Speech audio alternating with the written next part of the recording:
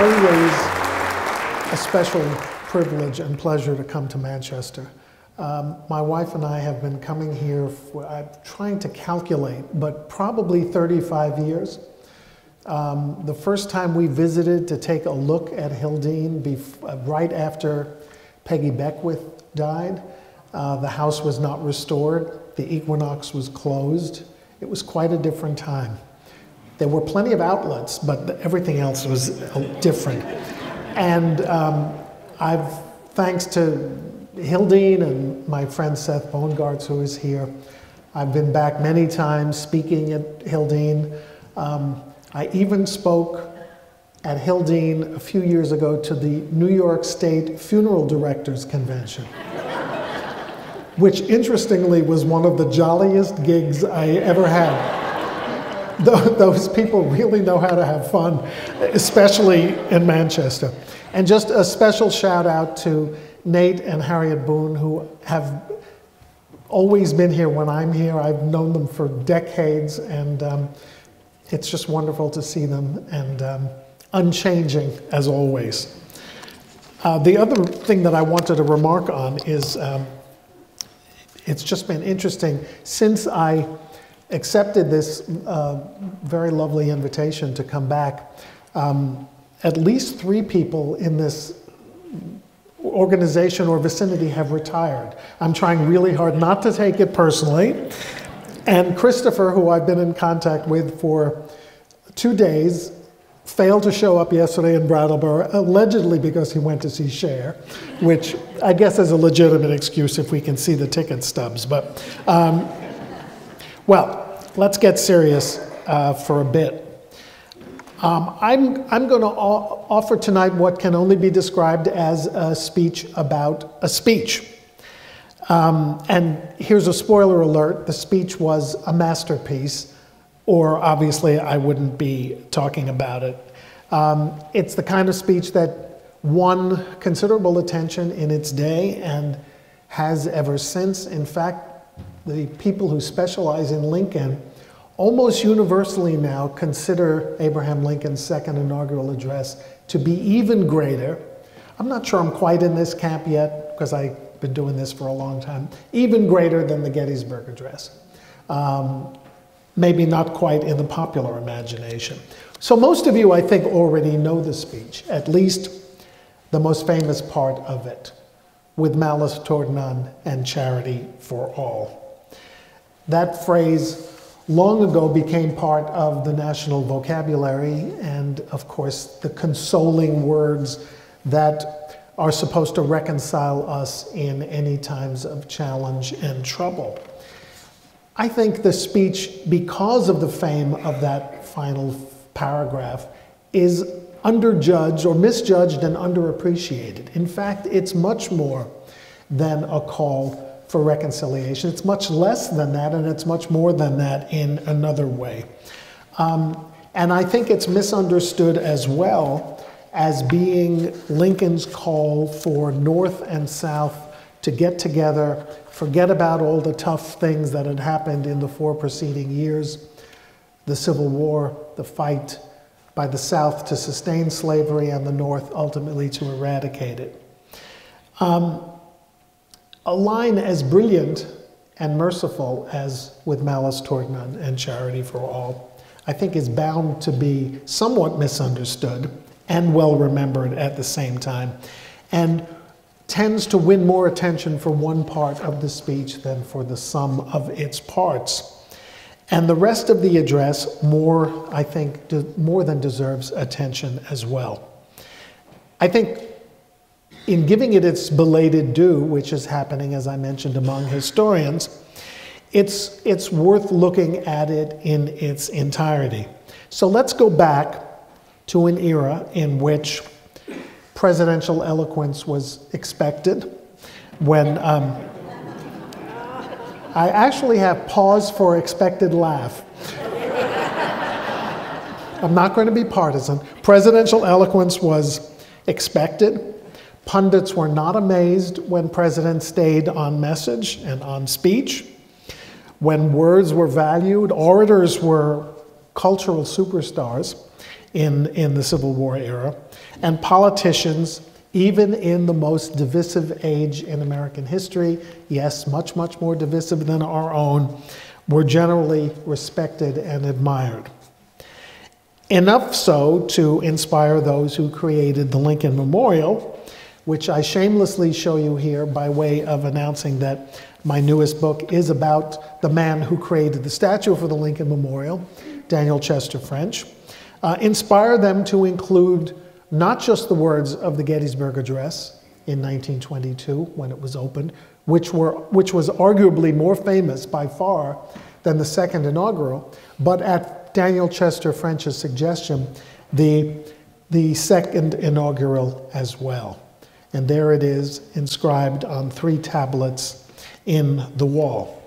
One of my, our accomplishments at the, uh, at the Lincoln Bicentennial Commission, which Christopher mentioned, was that we used your hard earned taxpayer money to re ink the words of the Gettysburg Address and the second inaugural, which I'm not even going to tell you how much it costs. But anyway, um, first, some crucial background. And I think, how do we understand the man who's capable of writing this kind of poetry? Um, it's very hard to fathom. People ask me what the secret is um, of his self education and his development.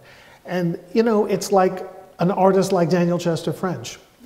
We know his background, we know what training he got, but how he actually created a statue, that's just, that's just um, a gift. It's magical. And Lincoln had no formal education to speak of. In the backwoods of Kentucky, he, the only fortunate thing that happened in his youth following his mother's death at his early age was that his stepmother brought books into their home for the first time.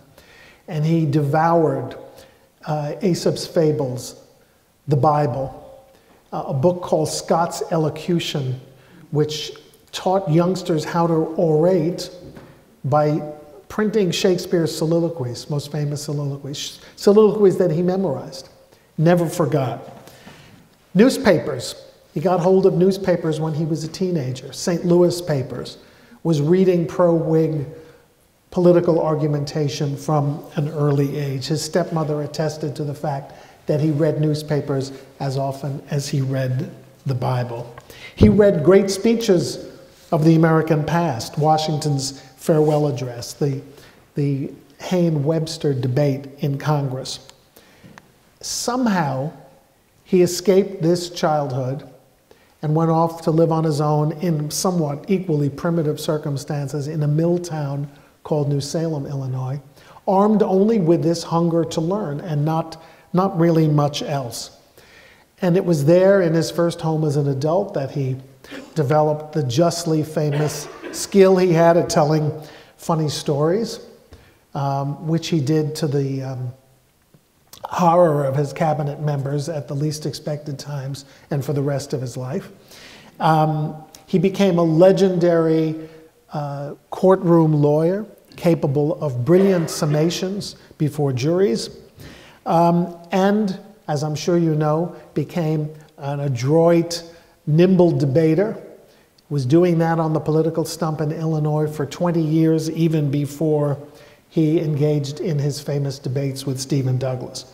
And there was something about Lincoln's style that was different. Orators of the day used purple language, broad gestures, biblical allusions in which they identified gospel passages for reference. They were grandiose. Maybe because he lacked the stentorian voice that most orators had and was naturally awkward. Lincoln did not gesture wildly. As his law partner said, he never swatted bees in the air, which was a sort of a frontier way of saying he didn't gesture. Uh, he also said that if you put a silver dollar on the floor where Lincoln, when Lincoln began a speech, when you came later, it would be undisturbed, meaning he didn't roam. Our, our tech professional asked me today if I was going to go back, roam back and forth. I'm not a roamer, only because I'm holding on for dear life. But he didn't, he didn't roam either. He stayed put. He was different. His first call for political support uh, came in the 1830s, and he said, I am humble Abraham Lincoln. My politics are short and sweet, like an old woman's dance. I love that. If elected, I shall be grateful. If not, it will be all the same. He lost, so he learned a lesson that maybe modesty was, uh, could only carry you so far. Um, he did get elected to Congress in 1846.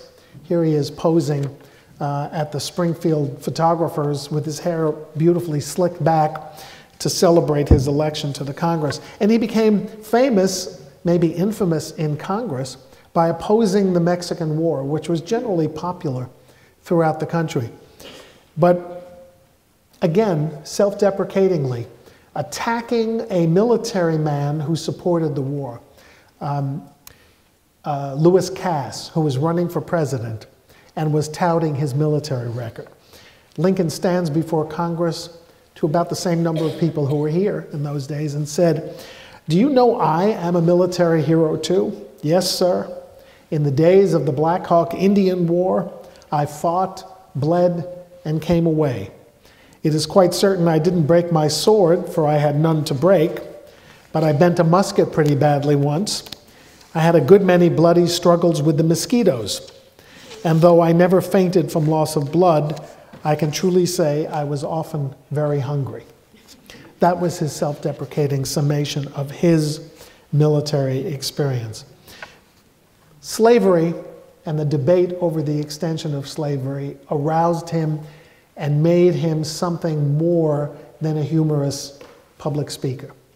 It fired him, it inspired him, it outraged him, until in 1854 he would rise in Peoria, Illinois, to oppose the Kansas Nebraska Act, which might have spread slavery throughout the West if settlers voted to incorporate slavery. He said, This declared indifference, but as I must think, covert, real zeal for the spread of slavery, I cannot but hate. I hate it because of the monstrous injustice of slavery itself I hate it because it enables the enemies of free institutions with plausibility to taunt us as hypocrites. It causes the real friends of freedom to doubt our sincerity, and especially because it forces so many really good men amongst ourselves into an open war with the very fundamental principle of civil liberty. Anyone who suggests today that Lincoln was indifferent about slavery before the Civil War need only look at that speech in Peoria seven years before the Civil War. And of course, he brought his biblical knowledge to bear four years after that Peoria speech in announcing his candidacy for the U.S. Senate against Stephen Douglas before the debates started. And I know you know this phrase as well a house divided against itself cannot stand. I believe this government cannot endure permanently half slave and half free. I do not expect the Union to be dissolved.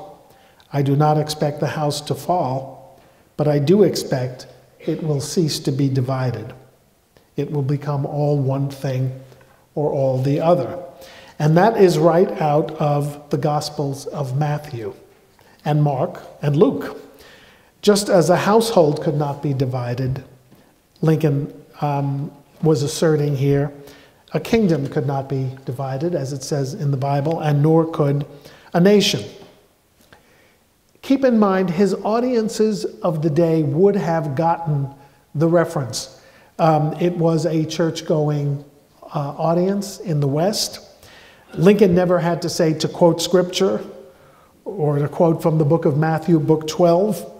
He spoke to an informed religious audience. They immediately understood that he alluded to Scripture without quoting it. And other flashes of brilliance will would follow.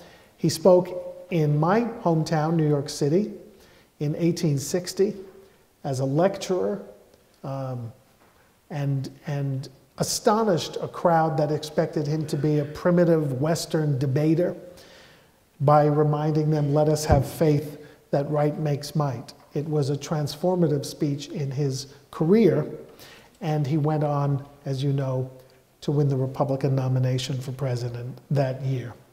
I think his real transformation as an orator came one year later. By the way, and, and for those of you who are already caught up in the maelstrom of a presidential election that's not really happening for another 17 months, Lincoln spoke at Cooper Union in February 1860. He did not speak again until February 1861. No speeches, no comment. Nobody, po politicians did, presidential candidates did not speak publicly. Stephen Douglas did a little bit. How many would, no, I won't, I won't take a poll. Um, but when he starts to speak again, it's magnificent. And it's a new style. He's toned and down and compressed even the, the minimalist style that he had introduced in politics. So when he takes his departure from Springfield, now with a beard looking like this, this was taken only a few days before he gave this speech, he famously said, I now leave not knowing when or whether ever I may return with a task before me greater than that which faced Washington. Here my children have been born, and one lies buried. Without the assistance of that divine being, I cannot succeed. With that assistance, I cannot fail. Trusting in Him who can go with me and remain with you and be everywhere for good, let us confidently hope that all will yet be well. I, I presented this speech um, to President George H.W. Bush and his family and his friends in Houston. I didn't read the speech. The actor Sam Waterston read the speech. I would do these setups, and the actor would read the speech. And after the performance was over, President Bush came up and, and he had tears in his eyes. And usually people react to the biggest hits, Gettysburg, second inaugural. And we thanked him and we said, what, which of the speeches moved you the most? And he said this one, um, because it's hard to explain what it feels like if you're leaving your home for the presidency to leave a child behind buried. And that's what moved President Bush and moved us as well. Again, these new, this new kind of, of, of style that cuts to the essentials. A few weeks later, he rises uh, on the portico of the Capitol. I promise you he's in there somewhere. We've never really been able to find him, but he's under that wooden platform um, there, the little wooden canopy on the, on the platform in front of the Capitol. And um, read the words that uh, President-elect Obama read uh, in Chicago the day after, the night of his election. The mystic cords of memory stretching from every battlefield and patriot grave to every living heart and hearthstone all over this broad land will yet swell the chorus of the Union when again touched as surely they will be by the better angels of their nature. All short words, but very expansive and complex sentences, and again, a brand new style. Um, as he would again build on uh, in his message to Congress in 1862, trying to get Congress to understand that the Emancipation Proclamation would indeed be signed in one month, even though there was a lot of resistance to doing it. We cannot escape history. No personal significance or insignificance can spare one or another of us. The fiery trial through which we pass will light us down in honor or dishonor to the latest generation. We shall nobly save or meanly lose the last best hope of earth. And of course, the zenith of his rhetorical career at Gettysburg, this photograph was taken eight days before he, he spoke at Gettysburg, and the vow that government of, by, and for the people would never perish from the earth. A speech so surpassingly great that it spawned a cottage industry of myths and legends. Did he write it on the back of an envelope in a train to Gettysburg? The answer is no. Did he wait till the last minute to write it? The answer is no. He actually worked really hard on it. And um, I think the movie Lincoln gave a more accurate view in a passing snippet when uh, an actor goes up to Daniel Day Lewis as Lincoln and said that was a pretty good speech. And Lincoln says, not Gettysburg, but a final speech. And he said, Well, it was long. I didn't have time to write a shorter speech. I love that line. Um, by the way, what is true about Gettysburg, I think is fascinating. The unknown things about Gettysburg. One is he almost didn't go. His little boy came down with smallpox, and um, his wife begged him not to go, remembering that only 18 months before their middle son, Willie, had been ill with typhoid fever, and the doctor said he would get better, and he did not only not get better, he died in the White House. Mary Lincoln never got over that and begged him, if you go, she said, if you go, he'll die. He felt he had to go to consecrate the, the fields of battle where so many thousands of people had died. Not until he was on horseback going out to the cemetery the morning after his arrival did a telegram finally arrive saying that his son had improved. But Lincoln himself was not at his best when he gave the speech. How do we know? Because when he was on the train a few hours after speaking, on his way back to Washington, he excused himself and lay down in the railroad car. His valet, um, William Johnson, an African American man, covered his head with a towel. And when he got back to Washington, guess what? He had smallpox. And he was ill for weeks. Um, he, he loved lying in bed, and people would come to the door and say, um, you know, there were people waiting in the lobby to try to get political office or favors, and Lincoln, who was filled with a rash on his face, said, Well, have them come in here. I finally have something I can give to everybody. a side note about the valet, I love it. I, I, it's a very moving story. William Johnson accompanied Lincoln from Springfield to Washington in 1861. When he got there, Lincoln wanted to hire him onto the White House staff, but the White House staff was exclusively Irish American, and they would not allow a person of color to join the staff. So Lincoln tried to get him a job in the Navy Department, which was an integrated branch of service from the beginning. No, we have no job in the Navy Department. They finally got him a position in the War Department, and his routine was to be a messenger, a clerk, a messenger during the morning, and in the afternoon he would go to the White House and give Lincoln his daily shave and see what he needed and get him ready for evening events. So William Johnson went with Lincoln to Gettysburg, came back, I'm assuming attended him in his illness. There's no other word until a Washington newspaper notes that the president's aide, William Johnson, has died. So I'm assuming he died of smallpox. Lincoln personally collected his salary warrants while he was ill, make sure his wife, made sure his wife got his salary. I'm not sure about pensions. I don't think he got a pension.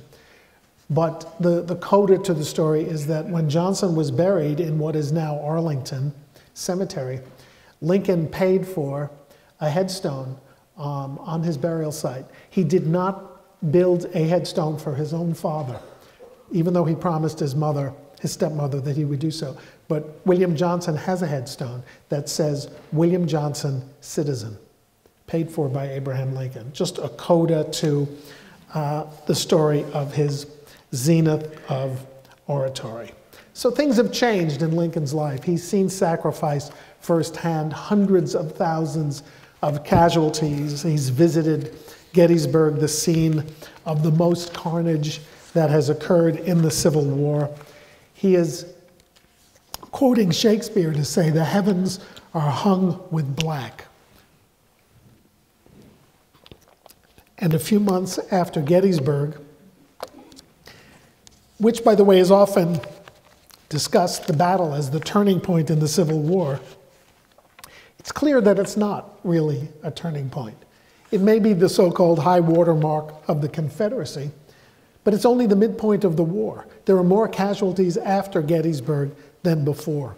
The war continues to exact a grueling and brutal toll. And when Lincoln says the heavens are hung in black, he means that every household in the United States is eventually touched with death. And under this cloud, Abraham Lincoln decides he must seek a second term, which was not automatic then. No one had run for a second term since Andrew, jo since Andrew Jackson. Lincoln was the first in more than 30 years. And in that terrible spring and summer of 1864, as Grant plunges ahead slowly in Virginia, again, huge casualties, unheard of casualties in the Overland Campaign. Lincoln is convinced by August of 1864 that he will lose. And his major piece of writing, because again, he doesn't speak out during the campaign, is to write this memorandum saying that this morning, as for some days past, it seems likely that this administration will not be reelected. After the election, it will be our duty to work with the new administration to save the Union before the inauguration, knowing that if a Democrat is elected, he will do nothing to save the Union or sustain emancipation after the election. If you see fold marks around the edges of this, that's because Lincoln folded it into quarters, sealed it, and asked his cabinet to sign it sight unseen. Very strange thing for even a lawyer to do. And they therefore added their pledge to work with the administration. And meanwhile, he began working with Frederick Douglass to see if as many enslaved people could be informed of their legal freedom in the South, in the border states particularly, before the election. Um, even in New York, where this campaign print and cartoon was made, it seemed to be clear that Lincoln would lose. Um, again, Frederick Douglass, and this is a contemporary picture of Douglass as he would have looked around the time he first met Lincoln in the White House, is enlisted to spread the word of inauguration. They make a plan everything changes miraculously after General Sherman captures Atlanta on September 1st, 1864. Suddenly, it's as if the whole Union, the whole Union electorate breathes a collective sigh of relief. And Lincoln suddenly has the momentum at his back. And as you know, he was, in fact, reelected President of the United States by a very healthy margin, 55 to 45% um, in November. And that brings us, I know some of you may think this is a long preamble, but that brings us to March 4th, 1865. And this is a very rare photograph of crowds just beginning to assemble in front of the US Capitol. How Lincoln found time to write anything, much less something so extraordinary and so gorgeous with all of the pressures on him even after his reelection is another astounding thing. Um, well, what did he write? And that's what, after all, has brought you here tonight. Um, a lesser man might have chosen a victory speech, um, sort of a triumphalist vindication of all the sacrifice and devastation uh, might have added a condemnation of white Southerners alone for fighting so relentlessly to save their brutal system. Um, or maybe a specific message about how Reconstruction would be effectuated, because by this point, it's only a matter of weeks before the Confederate Army yields and surrenders. No one knew what Lincoln's plan was, except that he had earlier used the word Reconstruction and said that he would not require a majority of white voters to pledge loyalty to the Union before a state could be readmitted to the Union and elect a legislature. And there were people who were worried about that, who thought he was being too lenient. Would he explain what he really meant to occur? Um, in fact, as Lincoln would explain that day, it would be both. It would be a merciful reconciliation, but it would also have a harsh element to it. And that's what we tend to forget and what I will get to. He did it all in 750 words. Now, that's two and a half times the length of the Gettysburg Address, but it's still, um, with Kennedy and one other inaugural, I think Washington's second, the shortest inaugural address. Here we have thousands of thousands of people gathering, and they really got about eight minutes um, of Abraham Lincoln. As I say, Abraham Lincoln had changed much in the four years since he had arrived in Washington. This is a pretty dramatic rendering of that change. Uh, the man at the right uh, weighed about 40 pounds less than the man who had arrived uh, in Washington with that big, luxuriant beard, which the White House barbers by February 65 had trimmed down to a goatee. He was sunken and he was uh, unwell. His energy was sapped. He wasn't sure, even as he was ready to take the oath of office for a brand new term, whether he would live to see its conclusion. These are two life masks that were made five years apart. Um, and here's another view where you see the change even more dramatically. Lincoln's private secretary looked at these masks about 20 years later and noticed what we notice here. The first is a man young for his years, a face full of life, of energy, of vivid aspiration. The other is so sad and peaceful that a famous sculptor thought it was a death mask, a look as of on one on whom sorrow and care have done their worst without victory, unspeakable sadness, but all sufficing strength.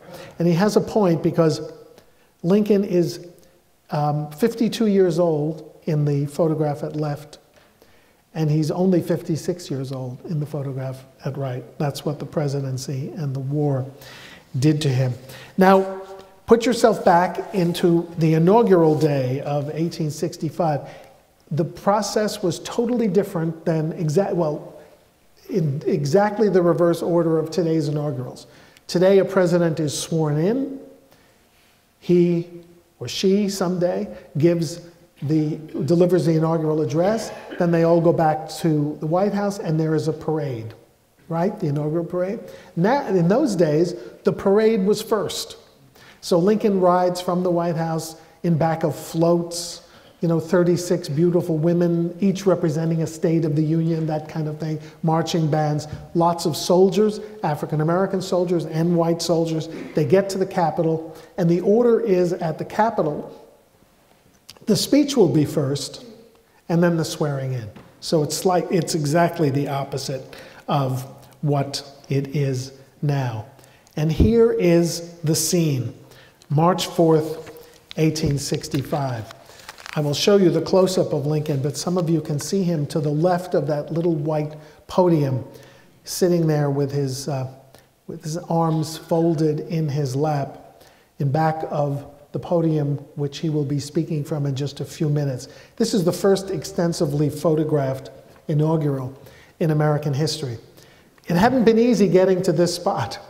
Lincoln came in through the rotunda of the Capitol, walked from the back toward the Senate chamber. As he was walking, a, a, a wild eyed person lunged forward in just a sort of a deranged moment, and the Washington police held him back. It was John Wilkes Booth, who planned to do something to him that day to prevent him from taking the oath. In fact, I promised I wouldn't turn around, but I will, because I want to do this. He's up here he goes out on the ledge with the owner of Ford's Theater, interestingly, to listen to the speech. Was he armed? Well, everyone was armed then. What did he have in mind? No one really knows. Um, before he got out to this perch, in those days, the vice president was inaugurated in the Senate chamber first. And Lincoln got there and he has chosen a new vice president, Andrew Johnson um, of Tennessee, the only Southern senator who did not leave the Union for the Confederacy. sounded like to Lincoln like a great choice, except Johnson was drunk at the swearing in. Um, they later explained it was because he had a terrible cold and took brandy for fortification. Should have had a Tylenol instead of the brandy. Lincoln said, Take Johnson away and do not let him speak to anyone again. So he's not in a great mood um, as he begins speaking.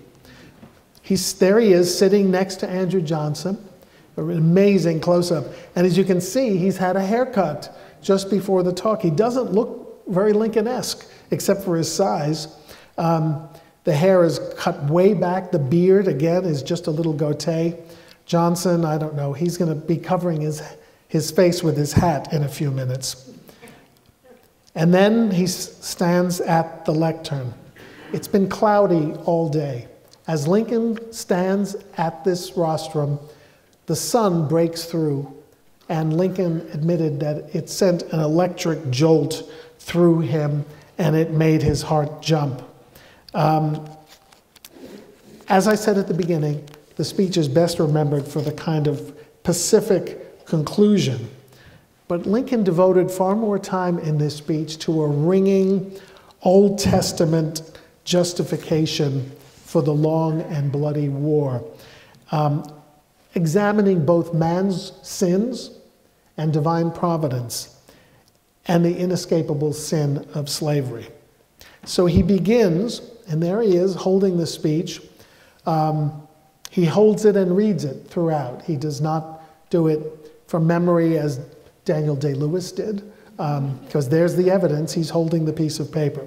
He begins simply by saying, At this second appearing, not appearance, at this second appearing to take the oath of office, there is less occasion for an extended address than there was at the first. Always beware of people who say, I'm going to speak briefly. But, you know, this was Honest Abe, so he was going to be honest. Four years earlier, he had constructed a legalistic argument against secession. Now he was talking about victory almost won, the South on the verge of collapse. The speech will be just the way he described his Gettysburg speech short, short, short. And here's the first page of his manuscript. How would he discuss the war? How could he summarize four years of destruction and 750,000 deaths. That would be the equivalent of the modern United States losing 11 million people in an event or a war. Well, this is how he did it. The progress of our arms, upon which all else chiefly depends, is as well known to the public as to myself, and it is, I trust, reasonably satisfactory and encouraging to all. With high hope for the future, no prediction to it is ventured. No details. No timetable. No chest thumping. Satisfactory and encouraging. That was as much as he would allow himself to boast about on this solemn but hopeful day. But who had responsibility for this carnage? On one level, Lincoln would put the blame directly on secessionists, where it belonged. And he reminded them about what had happened in this plaza just four years earlier. On the occasion corresponding to this just four years ago, all thoughts were anxiously directed to an impending civil war. All dreaded it, all sought to avert it. Then he got specific for the only time. While the inaugural address was being delivered, from this place, devoted altogether to saving the Union without war, insurgent agents were in the city seeking to destroy it without war, seeking to dissolve the Union and divide effects by negotiation. He's justifying what has happened since. Both parties deprecated war, but one of them, meaning the South, would make war rather than let the nation survive, and the other would accept war rather than let it perish. And the war came. Four words to describe four years of horror. But the blame he puts plainly with the secessionists. Think of that phrase for a moment. And the war came. What an amazing, I mean, almost casual declaration. Suddenly the tense becomes passive, not condemnatory. He doesn't say, and they brought on war. He doesn't say, and we accepted war, and the war came. Uh, a statement of fact and almost a, re a re regretful acknowledgement of an unavoidable storm, as if mere human beings had been too weak, or in some cases, too selfish to prevent it. And that's exactly what Lincoln was getting at in this extraordinary talk. First, for the cause of the war, and again, he said it briefly but strongly, despite all the later generations who have looked for easier explanations, to Lincoln, it was obvious. Slavery. He calmly reminded his listeners and the readers who would, the millions of people who would read the text the next day in the papers, a peculiar and powerful interest. All knew that this interest was the cause of the war to strengthen, perpetuate, and extend the interest was the object for which the insurgents would rend the Union, even by war, while the government claimed no right to do more than to restrict the territorial enlargement of it. And yet, slavery had existed undisturbed without war for fourscore years. How did impatience morph into this conflagration? That's how Lincoln that's what Lincoln needed to address. If slavery had existed in the country for so many years, why now? Why this sacrifice? Why this devastation? Um, as he said, neither party expected the war, the magnitude, or the duration. Neither anticipated that the cause of the conflict might cease with or even before the conflict itself should cease. Each looked for an easier, triumph, and a result less fundamental and astounding. The secret ingredient was very simple for Lincoln God. Lincoln was no longer, and the body politic were no longer in control of events. Lincoln was ready to take this extraordinary leap for his audience. And remember, it's an audience of soldiers and ordinary citizens. Both sides read the same Bible or read the same Bible.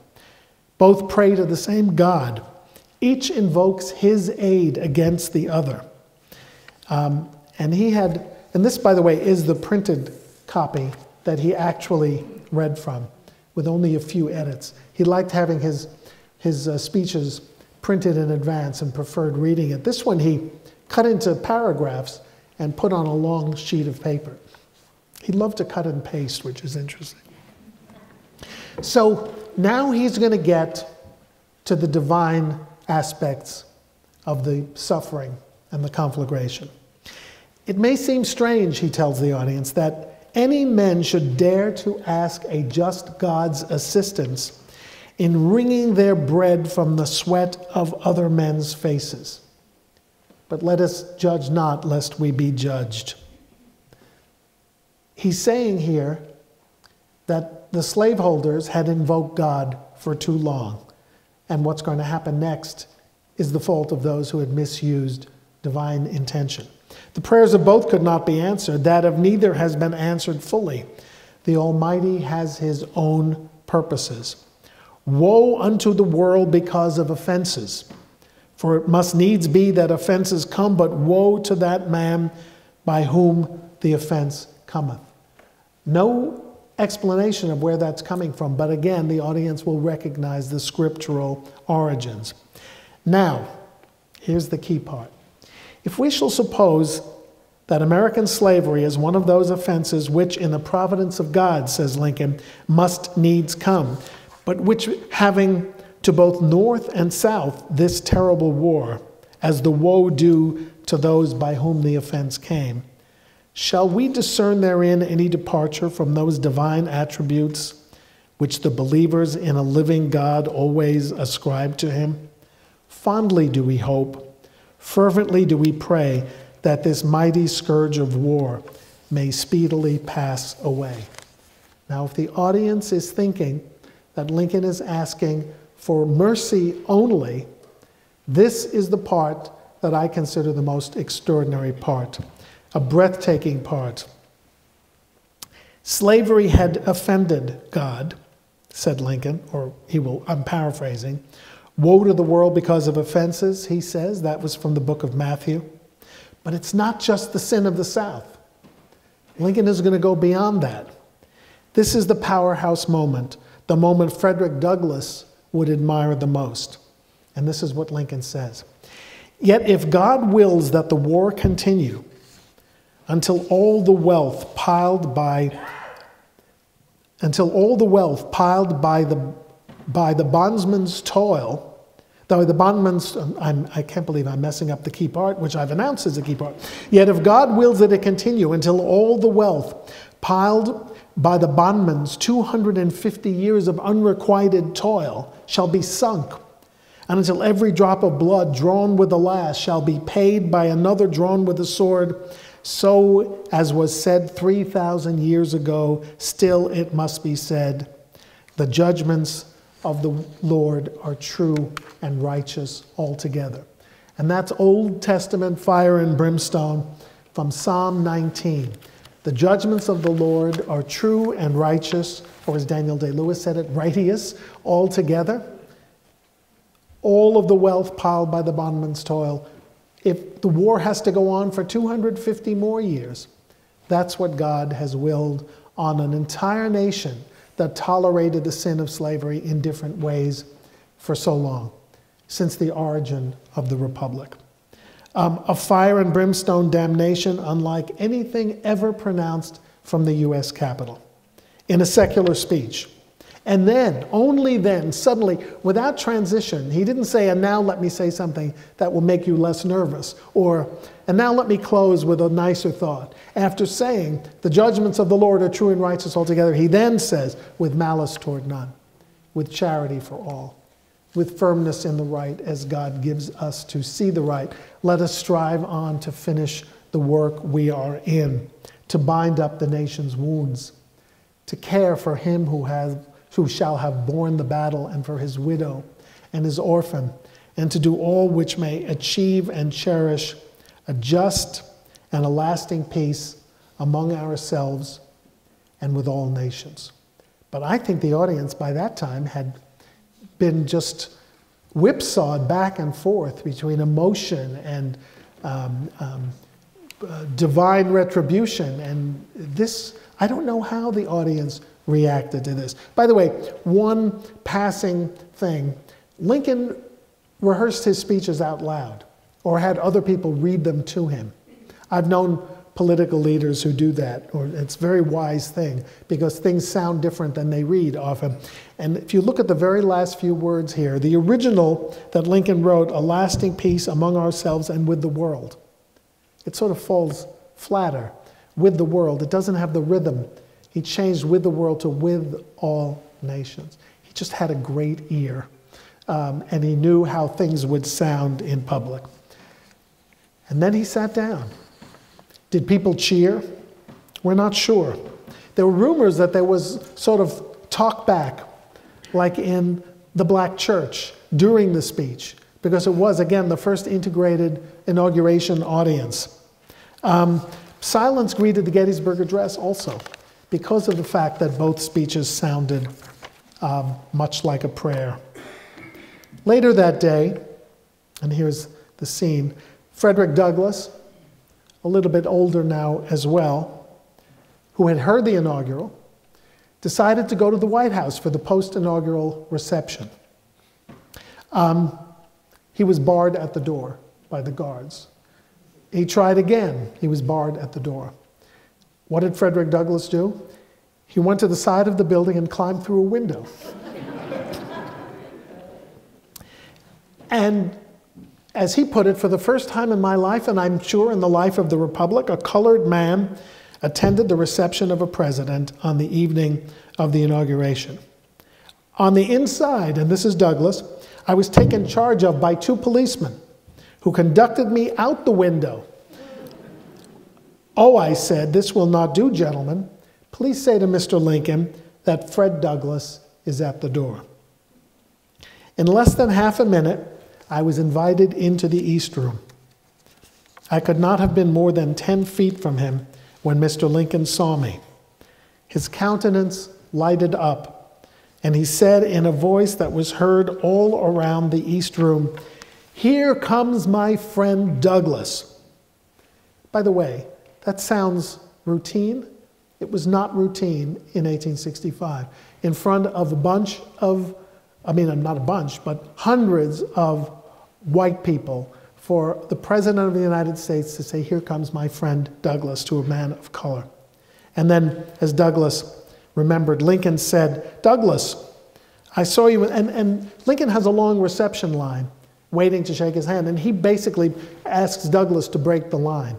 We don't like that when it happens today, but you know, so the crowd probably was even angrier. Douglass, I saw you in the crowd today listening to my inaugural address. There is no man's opinion that I value more than yours. More than one witness said that. As if it wasn't enough that he called him his friend, he's now saying he values his opinion. This is quite a moment in American history. What did you think of it? Now, there's a little of, you know, enough about you, let's talk about me, but still, it's an amazing moment. And Douglass replies, Mr. Lincoln, it was a sacred effort. Douglass got it. He understood what that speech meant. And Lincoln said to him simply before he was engulfed by the crowd, I am glad you liked it. Um, Douglass remembered it was the last time I saw him to speak to him, meaning he saw him in his coffin next. The speech itself became immediately reprinted and becomes quite a, uh, a, a, um, um, a popular speech, but it had plenty of critics. The newspapers, the New York Tribune wrote that it was um, too warlike, it was not forgiving enough. There was no humane spirit in it. It was as if Lincoln was saying, said Horace Greeley, this Haman shall hang on the gallows he erected for Mordecai, quoting the Old Testament himself. The pro democratic New York Herald said he gave no information about his future policy. Um, the only, and here is Lincoln two days after the inaugural address, when his little boy brings a photographer to the balcony of the White House to take his picture. He was in no mood to be, have his photograph taken that day. And you see he's sort of squinting against the wind on the, the March wind, which is sort of like the May wind in Vermont, I guess, um, as he's squinting in this, his only outdoor close up photograph. He gets a letter from a New York political boss named Thurlow Weed. Thurlow Weed writes him a letter about um, a speech, he's, uh, a, another speech, his acceptance of his official acceptance of notification of his election. And he says it's a neat little speech. Lincoln writes a letter that clearly shows how desperate he was for another compliment like the one he'd gotten from Douglass. He writes, Everyone likes a compliment. Thank you for yours on my recent inaugural address. Two things there. First of all, Lincoln always spelled it inaugural, L which probably is the way he pronounced it. He was not a great speller. Second thing is, Thurlow did not write to him about the inaugural address, but he was so eager for praise, so worried. I expect it to, to wear as well as, perhaps better than any speech I have produced, but I believe it is not immediately popular. Men are not flattered by being shown that there has been a difference of purpose between the Almighty and them. And maybe that's why it took so long for the second inaugural to take its place in Lincoln literature. It is a magnificent speech. It was the last great speech he made. Um, a few days, uh, a few weeks later, he appeared on the balcony of the window, second floor window of the White House to speak more in more detail about Reconstruction. And that's the speech that Daniel Day Lewis says, I wish I had had time to write a short one. But in fact, it was a very detailed plan at last. He didn't want to do that at the inaugural. He did it in front of a small group of people.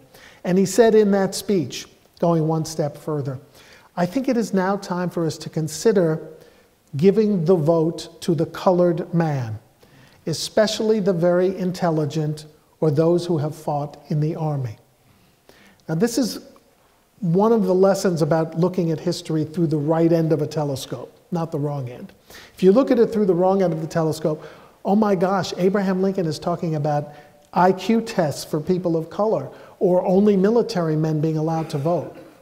That's not the way a man in the audience saw it.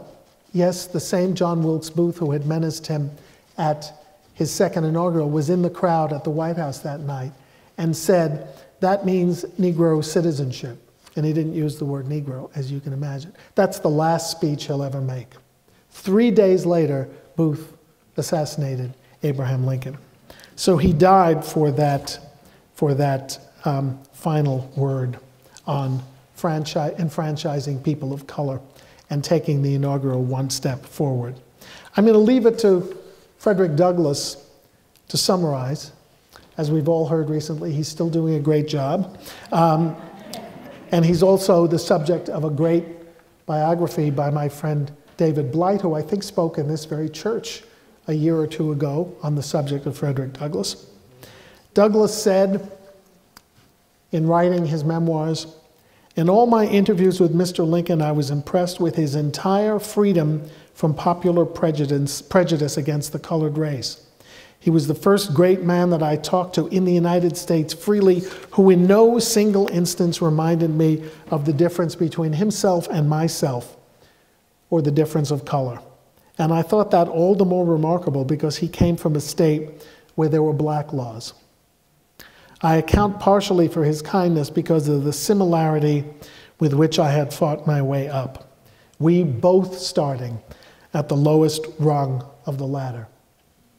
Isn't it amazing that two contemporaries who had no schooling, who taught themselves reading, writing, and oration, could emerge as the most eloquent 19th century people, um, the figures that did more to have inspired us than any. Lincoln, never more so than when he delivered the speech that put America on notice that North and South shared guilt for the sin of slavery, and that malice toward none meant charity for all, black as well as white, as the only way to guarantee peace among ourselves we may not have fully, certainly did not immediately absorb the lesson. Maybe Lincoln should have given a more direct speech instead of one that would be kind of perplexing in his day, but so magnificent that it demanded attention. Um, Lincoln thought that readers should see through uh, eloquence and oratory. Um, he once said to his small son, who had trouble comprehending a Shakespearean soliloquy and asked his father, How do we explain it? And Lincoln simply said, My boy, it's all in the speech. I think, in terms of reconsecrating America, as America's second Declaration of Independence, we have the Gettysburg Address, reconsecrating liberty and equality, and the second inaugural, reminding us that America was founded not only on high principles, but on original sin. And we have a long way to overcome. Thank you very much.